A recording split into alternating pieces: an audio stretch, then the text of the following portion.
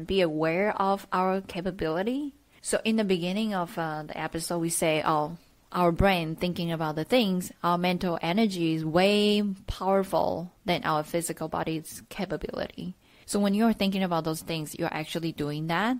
You're giving away of your power to your imagination. Again, imagination is a positive and a negative ability that we have. So we all know, like every time when we talk about creation, is you have imagination. What do you do next? Hello, everybody. This is Anita. Today, joining us will be another host. He is Eric. Welcome, Eric. Thanks, Anita, and glad to be here. Everyone, welcome again to another fantastic episode on Taiwanica Podcast. I am so excited to share this information with you today because it is going to be something that a lot of people do know that they have in their lives, and it's becoming a more common topic. But it's still something that we experience unconsciously too much, where that we don't know how to do anything about it when it does happen.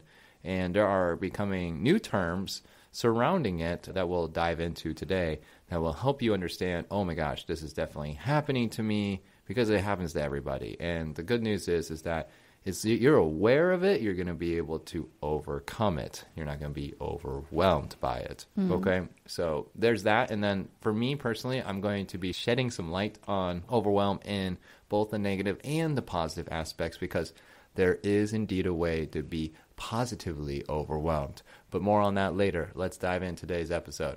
Yes, um, thank you so much. I think you said it very well because everybody in this modern society must experience a different degrees of overwhelming moment.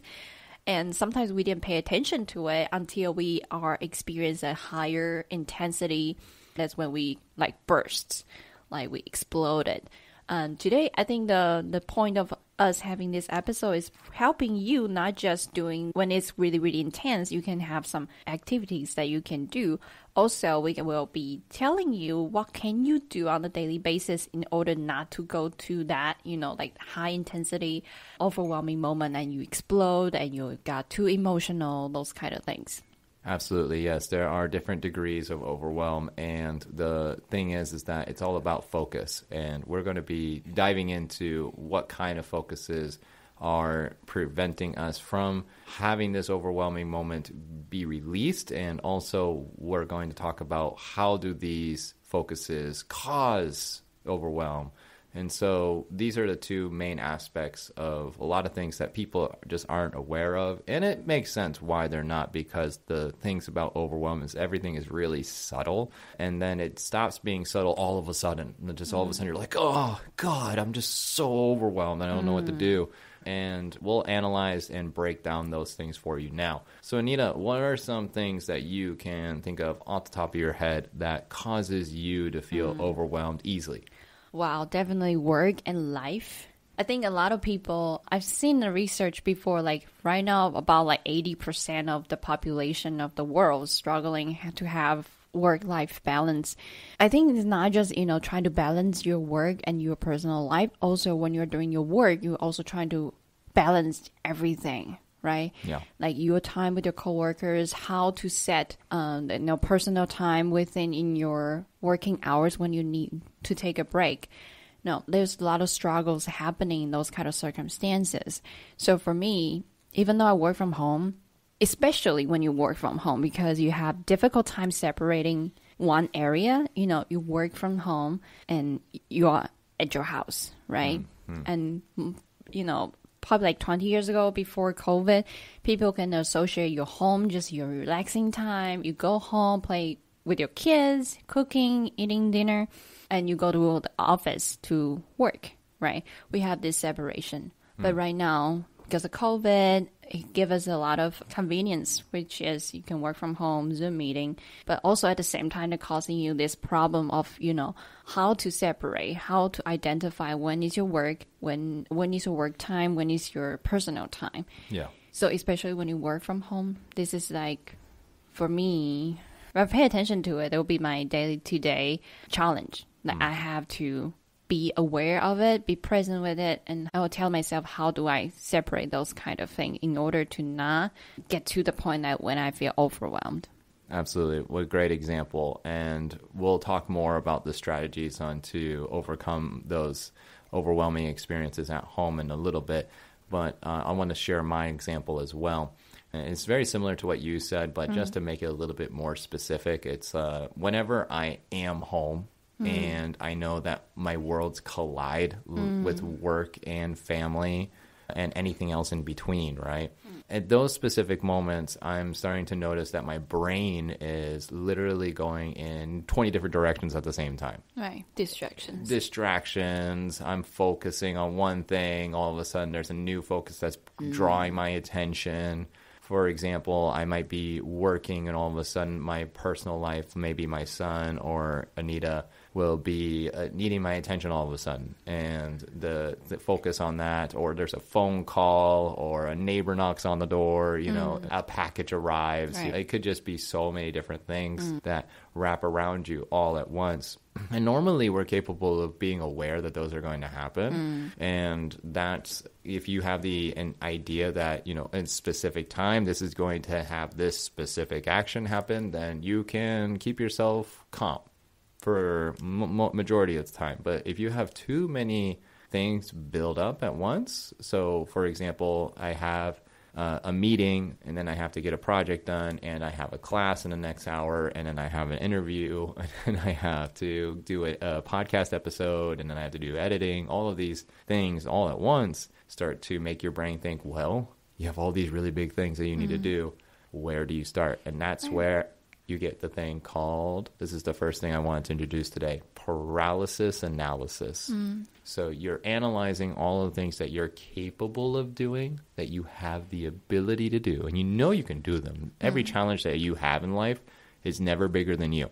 You can always overcome any challenge that you have. But the thing is, is that if you have too many of them, you're just personally uh, and physically going to feel, oh my gosh, I don't know where to start. Right. And so you focus on thinking about getting each of them done, but you don't actually do physically do mm. them. You're mm-hmm. thinking about them, but you're not doing them. And that's what we call paralysis analysis. So to really numb yourself inside of analyzing the mm-hmm. situation. Like your mental power is way like overpowering your your physical capability. Exactly. That's what happened. That's what you're saying, right? Mm-hmm, mm-hmm. Right. So we all experience those kind of moments, and which we will be talking about how to not doing this. Right. So your personal life is sorry, your overwhelming experiences when you work from home, you have those distractions that happen at the same time. I also want to share an American generalized uh, example for everyone to kind of get an idea of what it's like inside the United States, where this can easily happen. You know, keep in mind this is happening on a daily basis for a lot of people. It's not something that is just a once in a lifetime sort of thing. It's something that can literally happen every day, every week, every month. You know, it, it just depends on the person's capability of keeping them, their minds and their bodies c- contained. Mm, And we'll help with that later.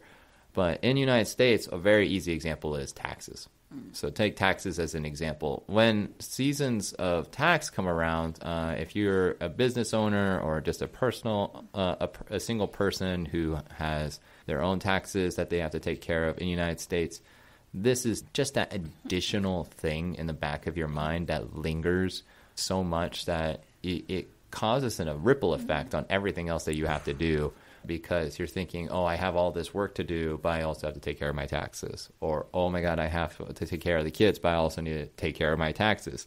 And taxes have a deadline. So it's like the closer it gets, the more stress it mm-hmm. creates in your brain. So you mm-hmm. start to feel even more overwhelmed and to the point where you don't your all the other important things around you don't get done until until you do your taxes. Yeah. Stay with us. We'll be right back. 大家好，想要跟我们一起学英文吗？No No No，我们现在还有新的课程可以一起上喽，那就是情绪管理。 Amazing Talker 呢非常棒，开设了一个新的专区，也就是情绪管理专区。那我们呢非常厉害哦，Eric and I，我们两个是情绪管理的专家，所以呢，如果想要跟我们一起上这样的课程的话呢，可以到我们两个的首页去看更多的细节。以下连结开放点选，希望可以赶快跟你们一起上课哦，拜拜。Yeah, this one I can share my personal perspective about this. Like in Taiwan, we have also tax season, of course, it's mm-hmm. every May. Yeah, no March. Anyways, we have a tax season. Sure, sure, sure. And in Taiwan, the reason why I don't remember it because it's very easy to get done in mm-hmm. Taiwan. Our government is amazing. If you go to their website, there's a way that you can easily log into the system and they will tell you oh how much you need to pay and how you're gonna fill out the form or you have the standard form then all you have to do just type in the information like how many how many people are in your family hmm. what's their age you just give them the information and it's going to be done hmm. if not you just go to the tax office and they will just do it for you. Remember we did it once when we were in Taiwan? Absolutely. Like within 20 minutes, It was done. it's done. And you know how much money you're getting back. Right, Which immediately. is amazing because the United States is definitely not that fast. Right. So I was surprised when we when we got here like when we do the tax, we were like, "What?"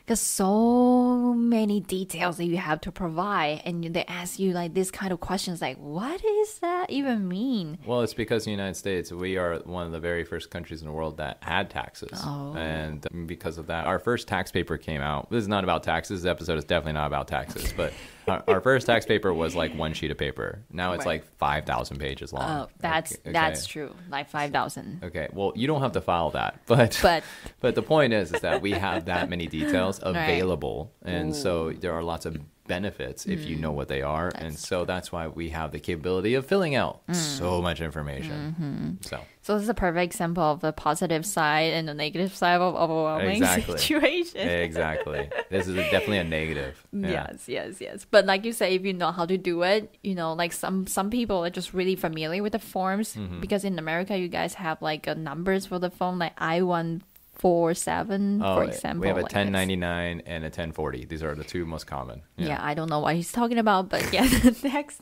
the form, the form that you have, you know, you guys, if you know the way, you can save a lot of money and get a lot of money back. So that's the national wise overwhelming season for most of American people. I mean, it's just a great example. Mm-hmm. We got it quite a few. Another great one is Christmas because everyone needs to buy. Well, if you're Christian and you celebrate Christmas, everyone needs to buy gifts for pretty much everybody. Mm. And so if you don't, then it causes a you know an impression on you, and so Right. It's more of a relationship stress rather than a financial stress. Right. But it's another type of overwhelm, right?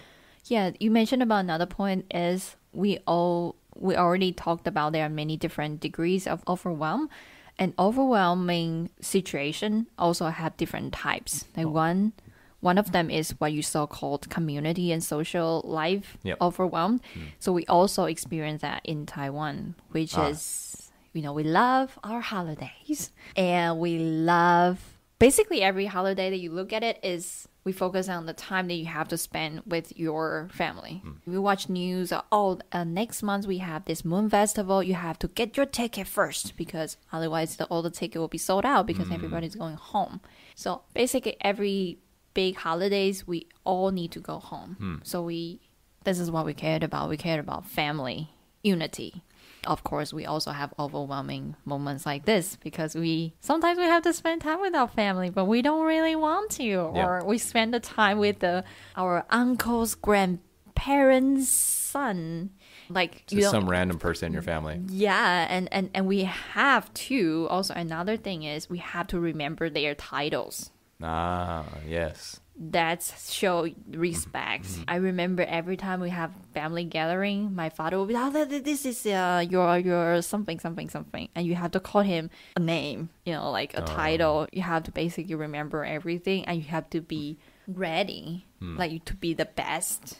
What they so call the, the the the society standard, like you're the best self, mm. like you're successful. If you're in the college, you have to be like straight A student, mm, mm. or if you're already married, you have to you know present your kids perfectly. Like your kids is like you know well raised. I don't know, or your your husband is like you know like the the person that will like who identifies a successful or good husband. So there's a lot of detail attached to it. Mm-hmm. Also, we don't say it. You hmm, know, hmm. the Asian culture, we don't actually say what we what we are thinking about that cause us more stress hmm. because they don't say it. We don't know what is going on. Yeah. So you have to be like fully paying attention to the environment that you're in. Yeah. Like every time you are in this kind of family gathering, we will just every after like one or two hours of doing this, when you go home, you feel exhausted because you're you're mentally like stressed. Oh, sure. Right. Maybe you're not doing that much, you know, because you're social, you're talking to other people. Your physical body is not doing much, but your brain is like working all the time. I have to look at that uncle's face is doing certain things. Maybe he needs something, or I need to switch to a different topic. Maybe he doesn't like the topic that I was talking about, you know, those kind of things. Wow. So that is definitely a big one. And the second one I would say is definitely the test season. Hmm. We have a lot of tests hmm. every day, little quizzes every day. This is not just for students, you know, when you are working, when you have a job, and every year your company will have like a big, it, it wouldn't be a test. I mean, some company will have like tests, like certificate you need to get in order to have a raise or you know promotion. And sometimes you will be like, I don't know how to conduct year end evaluation. Oh, year end valuation. Sure. Right, right, right. Like your performance uh, this year, in the past year, how much you sell, what's your what's your score, uh, how do you interact with your clients, how do you you know solve the crisis during the work. Those are being putting into like evaluation. Connects to how much money, how much year end uh, bonuses you will get. So test definitely uh, overwhelming situation circumstances for most Taiwanese people. Well, very interesting. I think these are great examples because it touches base on pretty much everything that both of our countries notice that can create overwhelm easily. Right. Right. And so it's interesting how overwhelm can happen. But the thing is, we just all mentioned a lot of things that are consciously happening to us Right. relationships, holidays, mm-hmm. taxes, tests.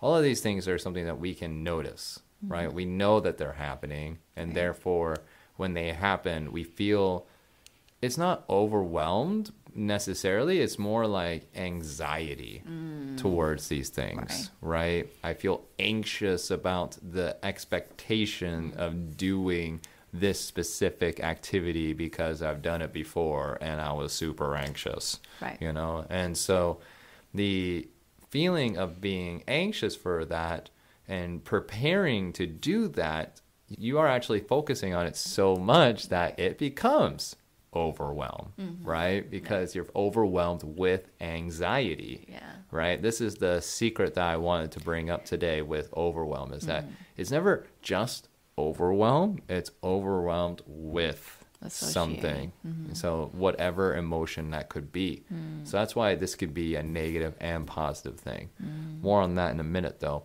So I want to dive into why we can get into overwhelm unconsciously. And so, one of the things about that is we have subtle reminders of stress hmm. inside of our lives. It, and they are not things that can happen to us on a regular basis. It's more of something that we do unconsciously. So let me give you an example, very clear for everybody who has a house, which I'm pretty sure you all have homes that you live in, is cups. Okay. I like drinking out of a cup, and sometimes I drink out of my favorite cup. Right now, I have my Mickey Mouse cup, and it's pretty cute, and I use it all the time. But sometimes my Mickey Mouse cup is dirty with mm. something else other than just water or tea. Maybe I drink like milk out of it. Mm-hmm. Okay. And so I put another cup next to it. Mm. So I'm like, this is my water cup and this is my old milk cup. I'll take care of that later.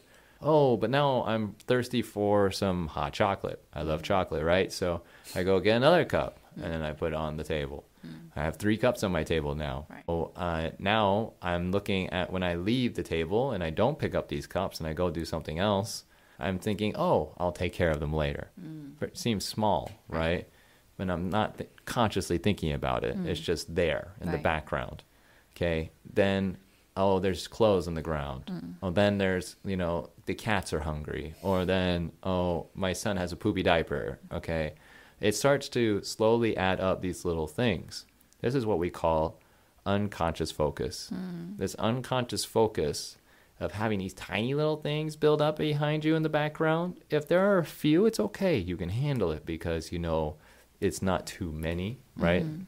And too many, just so you know, if you're wondering what is too many, usually anything above three or four hmm. little things that you need to get done starts to become too many in the back of your brain.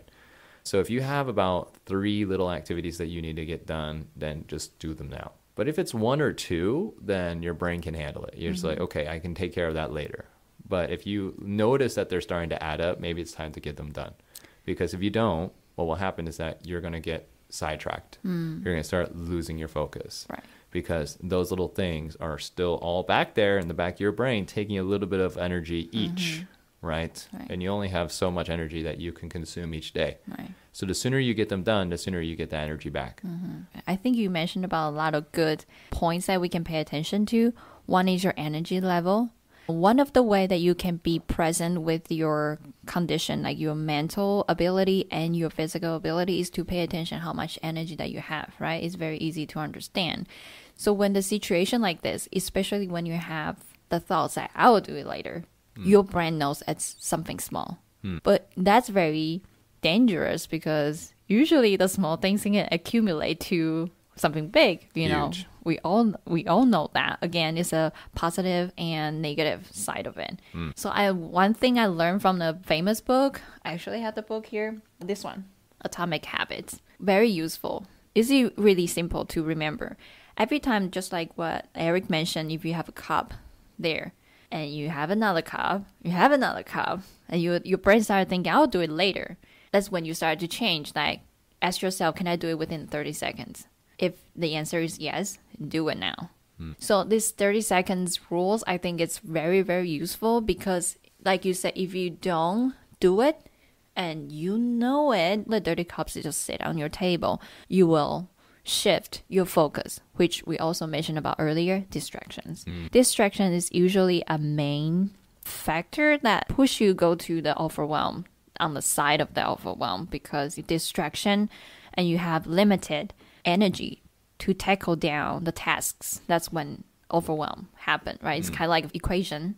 So when the little things happen and you know it needs to get done ask yourself can i do it in 30 seconds? Hmm. Right? That's like a really good way to do it. Hmm. And i think it's really yeah it's very important that we have to pay attention to it. So once you do it ask yourself can i finish this in the 30 seconds? You are actually practicing being present which is another very important uh, way that you can do on a daily basis to avoid the huge explosion of overwhelm which we will dive into later I think it's a great example and strategy that people can immediately add to their Right. lives. So thank you for sharing that. Uh, I, I will give it a, a go myself. I had never done that before.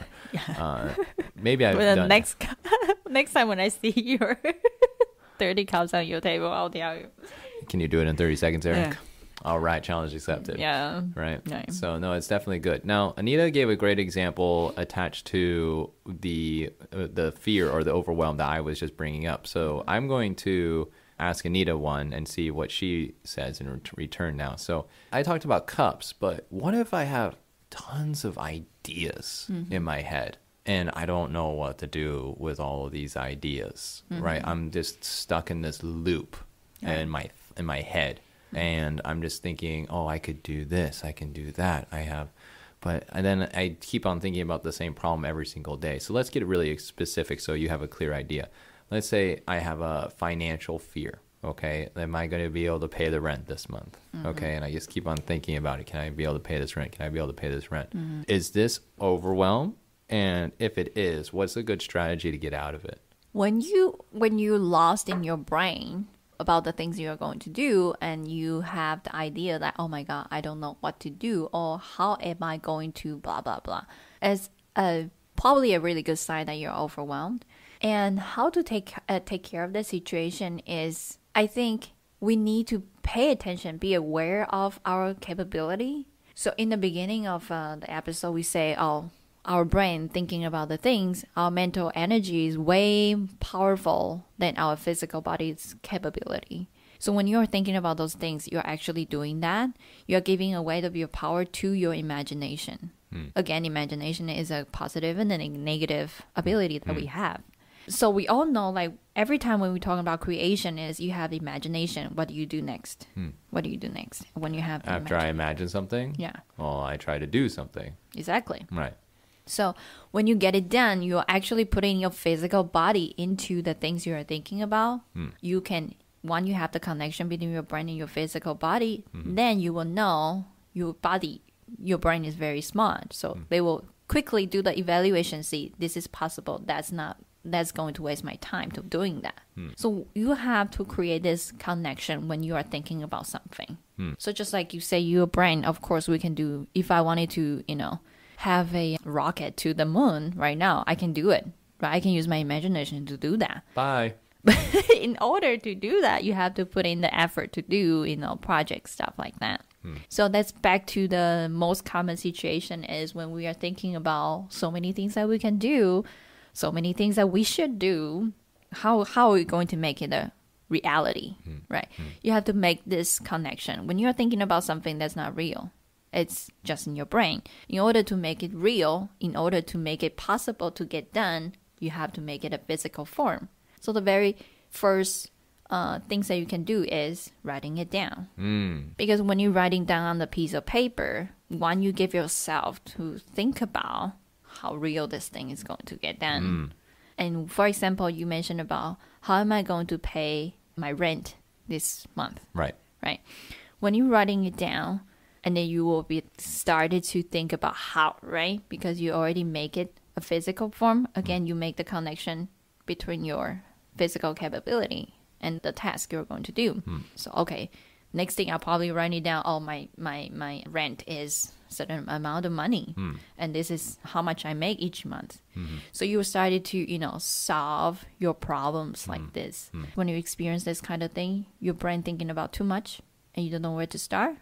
I would suggest to writing down the things hmm. throughout the whole day. Just keep a notepad on in your pocket, writing it down the things that you wanted to get done today. Hmm. And the next step, I would say, if the thing is too big, ask yourself, what can I do? For example, the rent. How am I gonna pay the rent? Writing down the deadline of the rent, like when's the last day you have to pay the rent, and each day you make small step towards to that goal for the mm-hmm. bigger tasks mm-hmm. like this, mm-hmm. right? If it's small, you know, when am I going to take out the trash? Maybe after lunch. Can I Write do it in down. 30 seconds? Can you do it in 30 seconds? That's great example. Yes. Can I do it in 30 seconds? Yes. Then go do it. Are you crossing out a thing on your list? Hmm. Another things I think writing it down is good because you can literally physically in the physical world crossing it out and it gives you this dopamine hit. Like, oh, I can get things done. Dopamine is happiness Yes. It's also a chemical of motivation in your well brain. in your brain. Yes. So when you are in this physical world, you make it real. Like, oh, I have this thing and I can get it done. You hmm. can push you to do more and more, not just overwhelmed by your thought. Wonderful. And I think Anita is diving into the first strategy that I wanted to introduce today. So I'm going to just dive into that right now.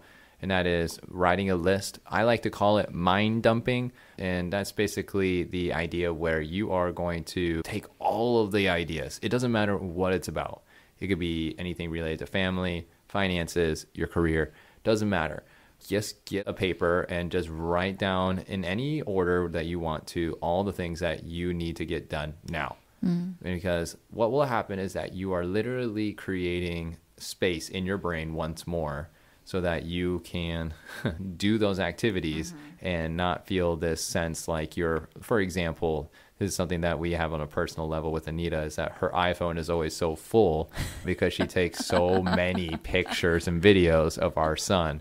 So she's always having to delete extra things on her phone in order to have more videos and photos of our son.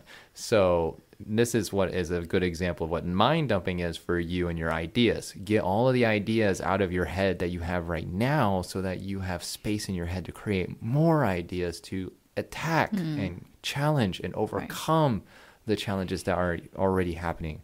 Okay, hmm. I'm going to add a little bit more information to that.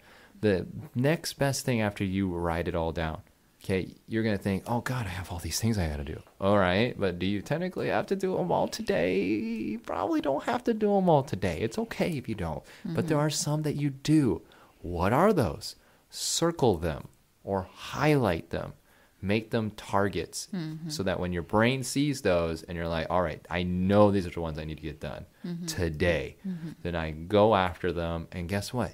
because you have so much space in your brain, your brain's going to think of all the ideas that you need to do to get it done. And so, guess what? You're going to get what Anita called the dopamine hit. You're going to cross that baby out. You're going to feel really happy and motivated to do the next one. Right. Right. So, this is a great strategy for you to feel that excitement and feel free from that overwhelm.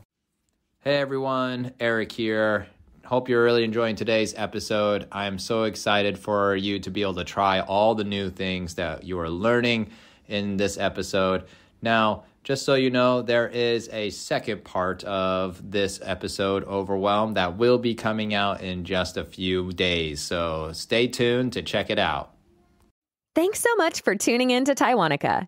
If you're enjoying the show, please feel free to rate, subscribe, and leave a review wherever you listen to your podcasts. That helps others find the show, and we greatly appreciate it.